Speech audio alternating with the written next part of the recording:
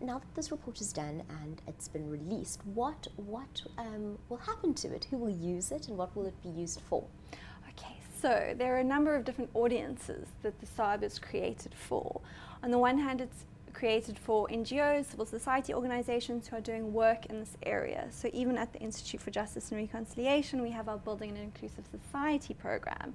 So they will draw on the stats, the findings, in order to um, make change within society, shift perceptions, um, create dialogue, it's also created for government, and we hope that um, leaders will read the report and, um, and make the necessary changes, or at least begin to have the conversations around the changes that are necessary in order to enhance reconciliation. It's also produced for academia because it's a credible survey and the analysis is done to academic standards so that it will also help to um, shift the, our knowledge of reconciliation because, right, South Africa is at the forefront of reconciliation. So we have such a role to play in terms of um, doing the work we need to do in society, but also feeding that knowledge back into a much broader part of how do we understand reconciliation in South Africa, but globally in post conflict um, situations. Mm.